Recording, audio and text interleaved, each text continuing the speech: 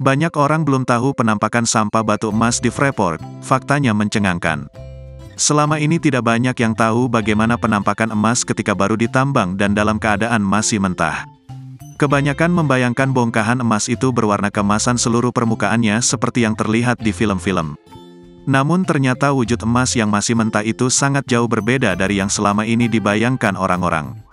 Hal itu diperlihatkan dalam video penampakan batu emas di Freeport yang diunggah akun TikTok Pace garis bawah Ompai 20. Dalam video itu awalnya memperlihatkan dua batu berukuran besar dengan permukaan yang unik. Tidak seperti lainnya, permukaan batu itu terlihat mengkilap dengan warna kuning kemasan di sela-sela pori-porinya. Menurut suara dalam video itu, batu itu akan diolah di pabrik dan diklaim akan menjadi emas.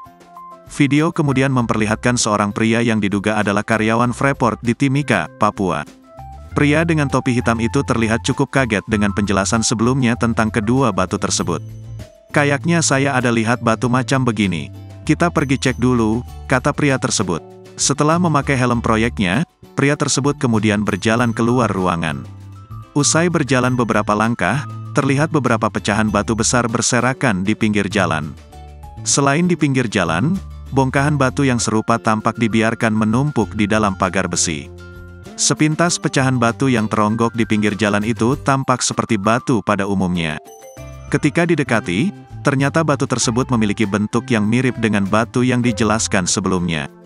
Batu tersebut juga memiliki kilap warna emas di sela rongga-rongganya. Namun pria itu mengungkapkan fakta mengejutkan tentang batu emas itu. Ini sampah saja di sini kawan. Di underground, bawah tanah, katanya sambil membolak-balik batu emas di tangannya. Sementara di bagian keterangan video, pria itu menjelaskan kenapa batu yang katanya bisa diolah jadi emas itu hanyalah sampah. Batu pirite itu memang sampah, ini memang limbah di underground ataupun di area Freeport, Indonesia.